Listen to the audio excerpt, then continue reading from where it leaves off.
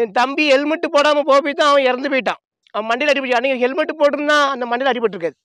அதனால் ஹெல்மெட் வந்து முக்கியம். நம்ம கொஞ்சம் கஷ்டம்னு சொல்கிறோம் அதை போட்டு போனால் மண்டையில் ஏன்னா மண்டையில் மற்ற உடம்புல எந்த பாகத்தில் அடிபட்டாலும் நம்ம பிழைக்க வச்சிடலாம். மண்டையில் ஒன்றும் அடிபட்டு பிழைக்க வைக்க முடியாது. கஷ்டம்.